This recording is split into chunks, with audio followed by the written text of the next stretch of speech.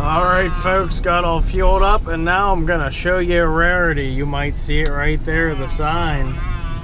Oh boy. Oh boy, what do we have in Chippewa? What does still exist over here that doesn't exist very many places?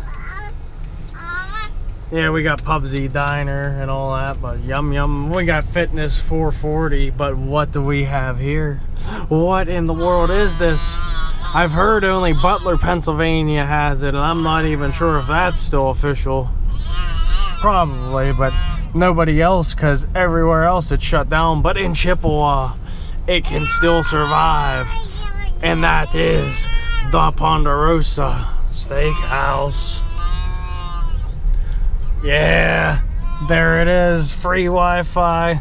Senior lunch buffet Monday through Saturday, 11 to 4 with free Bev 749. There it is. Sizzling pepper jack skillets. Oh yeah, I got a funny story on the channel too about this place when I ate too many wings and they almost kicked me out. Where should we go next?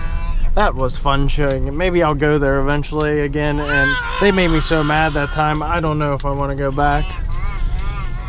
But maybe we will. We still have a Pizza too, surprisingly but I figured you'd be more interested in the Ponderosa. And that was another fine video coming at you. Oh, I know what we're gonna go film. Wait till you see this.